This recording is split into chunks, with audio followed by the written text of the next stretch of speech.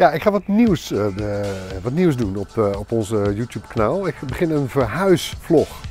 mijn vriendin en ik en onze kinderen hebben een nieuw huis gekocht, ons eigen huis verkocht.